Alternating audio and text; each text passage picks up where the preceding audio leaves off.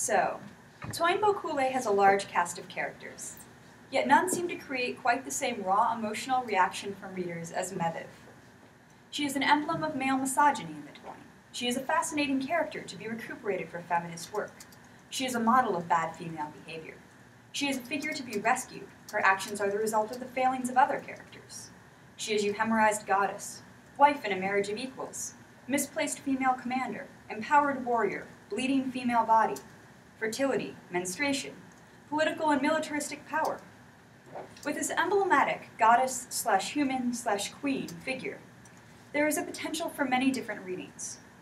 Rather than revisit or explore a new interpretation of Medb in this paper, I intend to work with several readings of Medb as she enters conversation with Fedelm, a banfháith, or female seer. In Medb's brief interchange with Fedelm, many of the elements that compose Medb's character are at stake. Blood, military victory, otherworldly power, and the place of women within the militaristic world of the text. As Medb prepares her army, her army is from Connacht, by the way, her army for an attack on Ulster, she is approached by Fedelm, a female seer of Connacht. Upon request, Fedelm initiates a series of prophetic remarks which Medb mediates as she attempts to reinterpret Fedelm's ominous words, at Q Feriderg Foro, at Q Ruyth.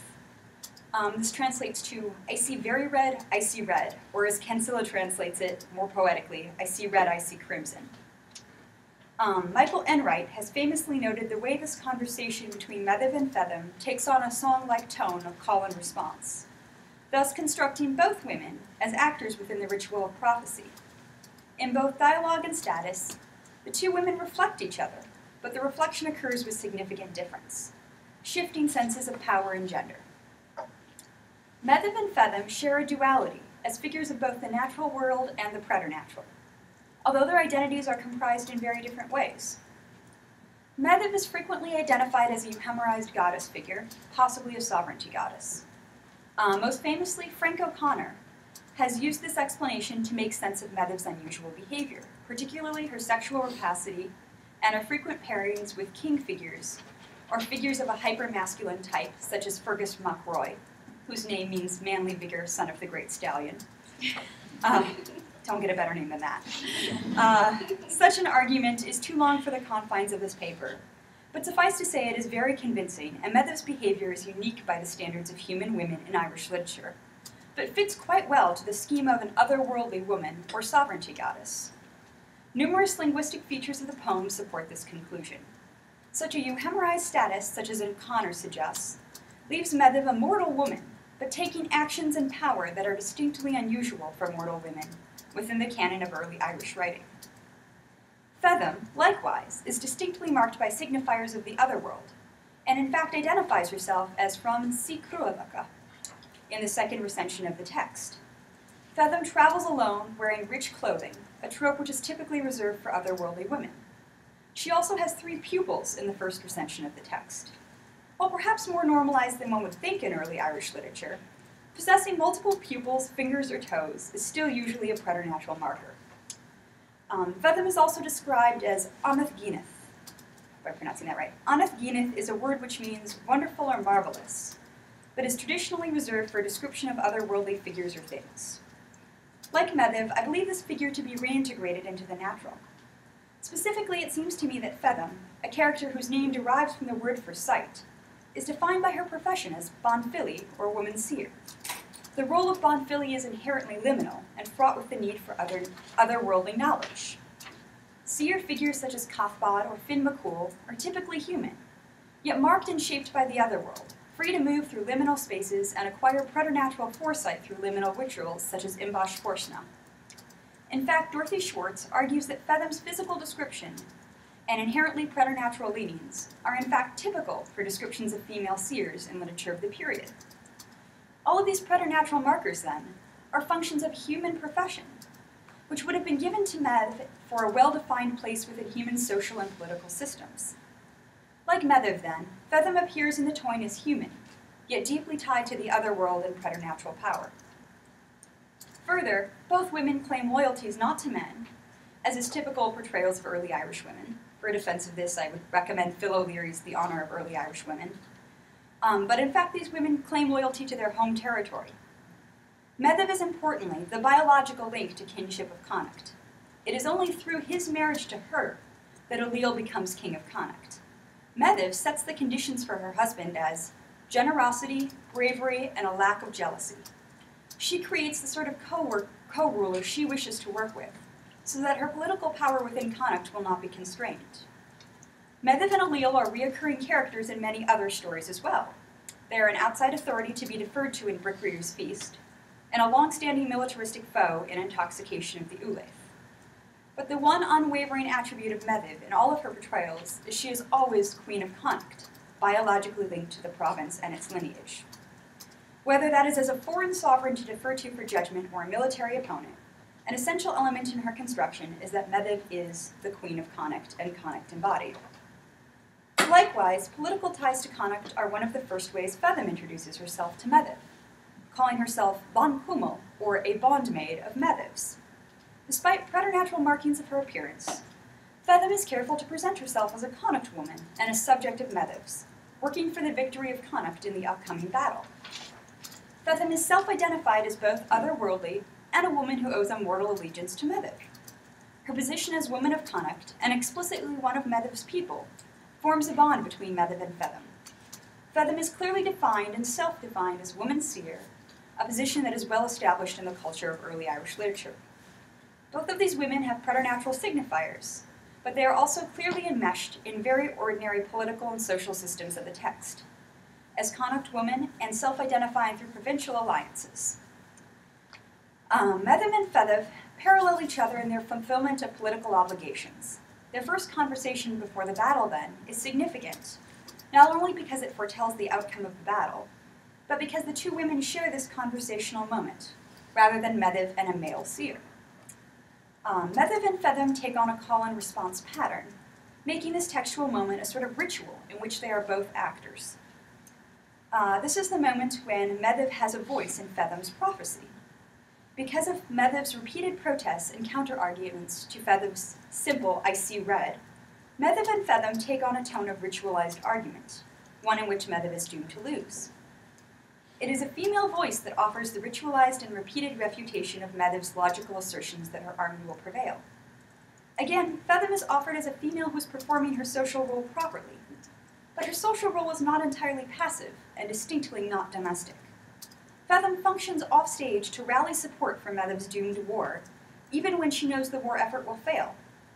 Fedelm properly performs the roles demanded of her by a masculine honor code, both by being a female voice that foretells the ultimate failure of Medb's military campaign, and a female foil to Medb, who correctly performs her duties within the bonds of a masculine honor world. Fedelm functions as an alternative, if flawed model of female behavior. Certainly, Fedelm's subjectivity is limited by the fact that she is still functioning within a masculine honor code, and that her actions are ultimately for the good of the Connacht people.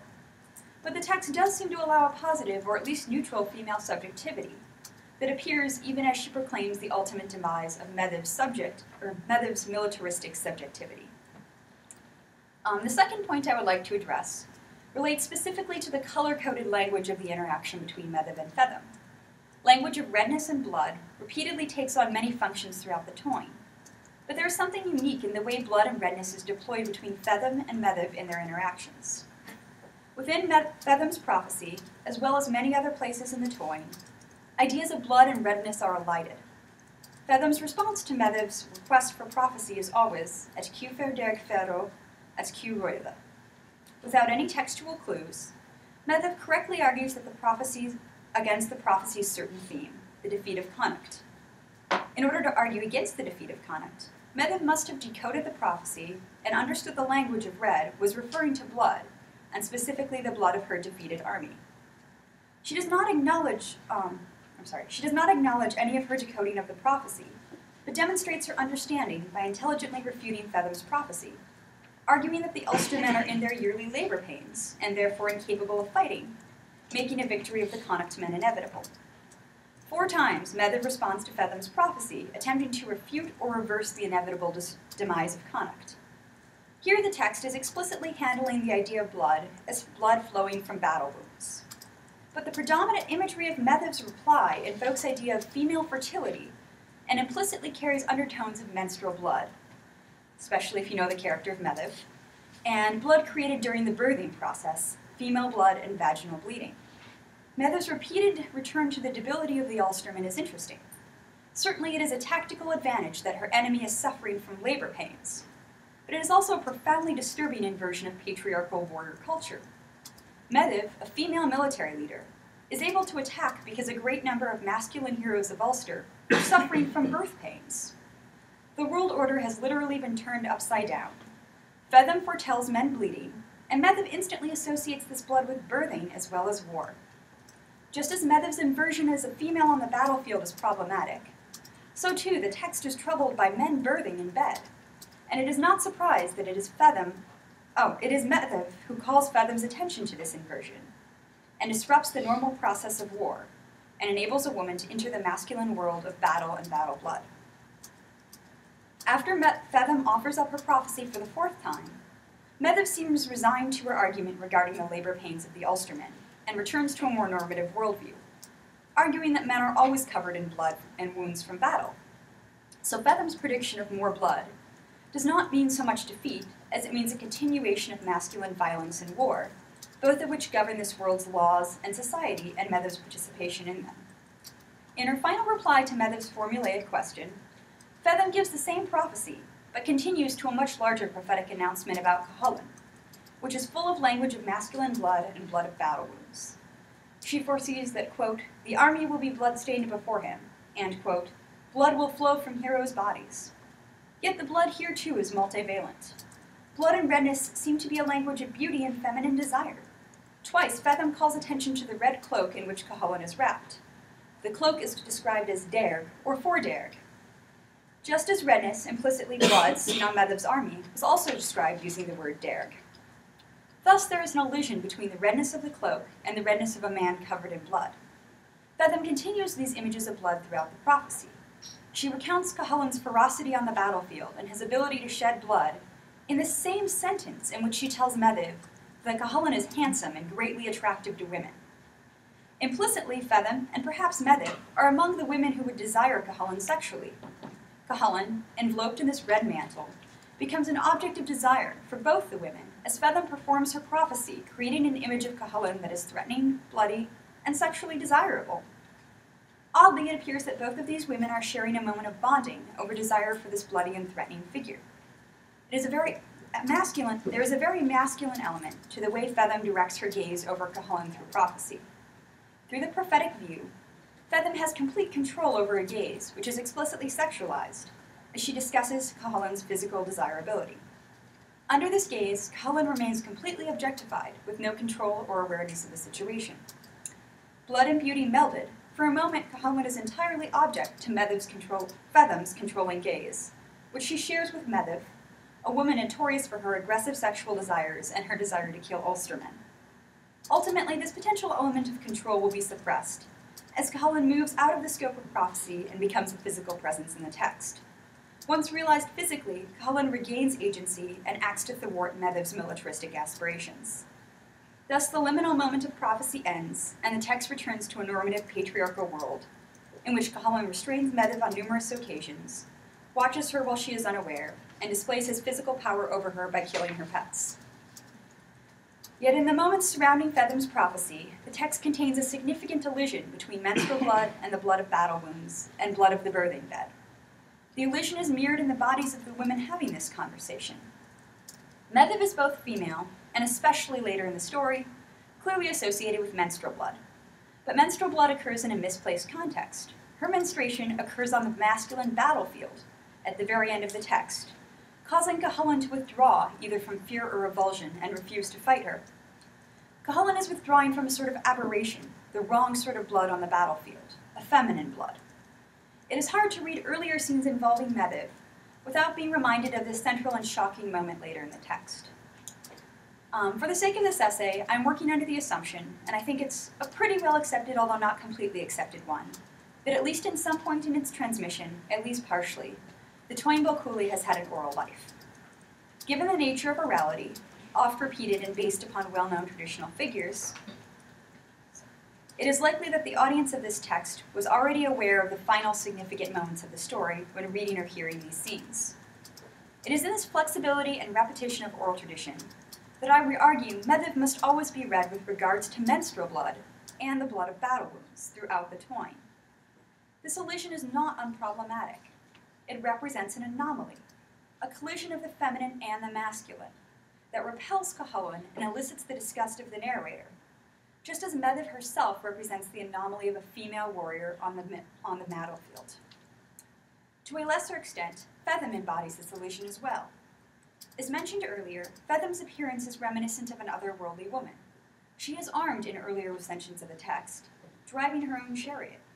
Her actions, rallying the men of Ireland to aid Connacht, are also very masculine. Yet the te- text is explicit about the physical desirability of both Medb and Fedelm. These women occupy positions that are troublingly masculine and feminine. Ann Dooley has suggested that Fedelm's prophecy is one of the few moments in Irish literary tradition where two women are allowed to have a conversation about the desirability of a man. She relates this to Emer's praise of Cuchulainn in Bricriu's feast. Uh, this moment, this is certainly a unique moment of female conversation, but it is not limited to sexual desire the way Emer's speech is. Medb and Fedelm are also discussing battlefield strategy. Blood represents sexual desirability, and one's militaristic nemesis may also be the object of one's sexual gaze. Of course, this moment in the text is brief. Ultimately, Fedelm vanishes from the text, and Medb is defeated in humiliating fashion.